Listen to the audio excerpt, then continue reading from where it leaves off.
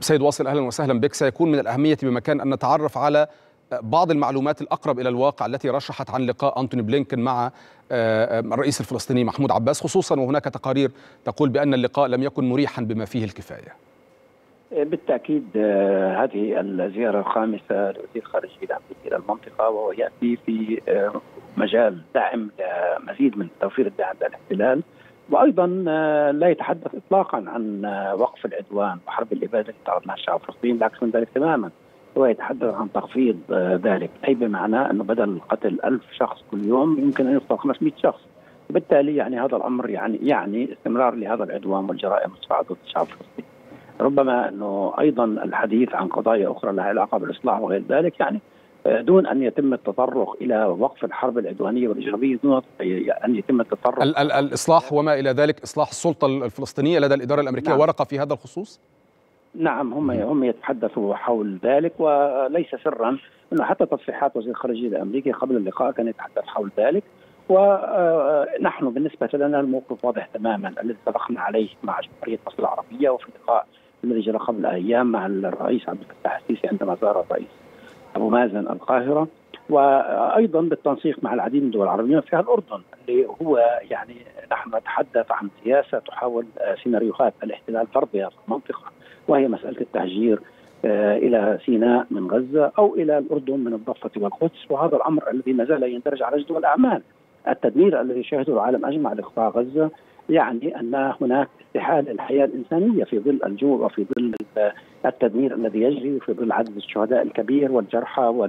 وكل ما له علاقة بتدمير الحياة الإنسانية. هذا أمر يعني يندرج في إطار مواصلة هذا العدوان والجرائم المتصاعدة ضد الشعب الفلسطيني. وبالتالي نحن سعينا من أجل أن يكون هناك وقف فوري لهذا العدوان، هذا الذي نسعى من أجل تحقيقه الاتفاق حول ذلك، وأنا بعتقد إنه كل ما يندرج في إطار ما يتحدث عن عنه الإدارة الأمريكية ويأتي في دعم هذا الاحتلال والتغطيه على جرائم الاحتلال، لذلك ربما أن لقاء العقبة اليوم مساء هذا اليوم بمشاركة الرئيس عبد الفتاح السيسي والملك عبد الله الأردني والرئيس الفلسطيني أبو مازن. سيكون اجتماع قمة ذا أهمية في سياق اولا التأكيد على أهمية إضافة كل الجهود من أجل وقف هذا العدوان والجرائم الصعبة ضد الشعب الفلسطيني، حرب الإبادة المستمرة، حرب التدمير الذي يستمر الاحتلال بإمعان بدعم من الإدارة الأمريكية، وبالتالي يعني هذا هذه القمة الهامة. أنا بعتقد إنه أيضا ما يمكن أن تتلخص عنه يمكن أن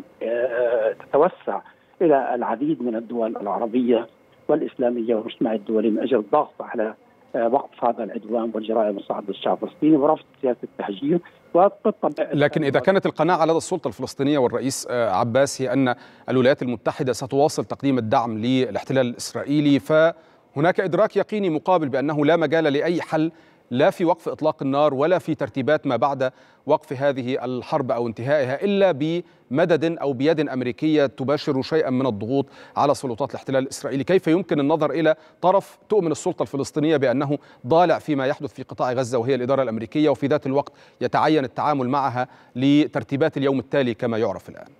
يعني أنا أنا بعتقد إنه يعني حتى ما يتم طرحه من قبل الولايات المتحده الامريكيه ومن قبل الاحتلال حتى عن سيناريوهات ما يسمى اليوم التالي.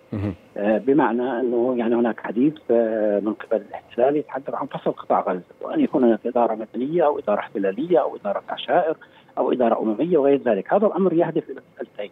المسألة الأولى هو منع إقامة دولة فلسطينية على الأراضي الفلسطينية المحتله وخاصة أن الدولة يتعين أن تقام على قطاع غزة والضفة والقدس العاصمة وحق العودة للاجئين هذه الثوابت التي ترتكز عليها أي عملية سلام في هذه المنطقة، والأمر الثاني هو محاولة المساس للتمثيل الفلسطيني الموحد في إطار منظمة التحرير الفلسطينية الممثل الشرعي الوحيد للشعب الفلسطيني، لذلك ما تقوم به الإدارة الأمريكية هي هي محاولة أيضا لشراكة كاملة مع الاحتلال فيما يتعلق بسيناريوهات لا علاقة باليوم التالي وغير ذلك واستمرار هذه الحرب العدوانية والإجرامية لأنه حتى الآن اقتربنا من المئة يوم من عمر هذا الحرب الإبادة والاحتلال لم يحقق أي من القضايا التي تحدث عنها بالعكس من ذلك تماما. هو فشل فشلا ذريعا في ذلك والمقاومه الباسله التي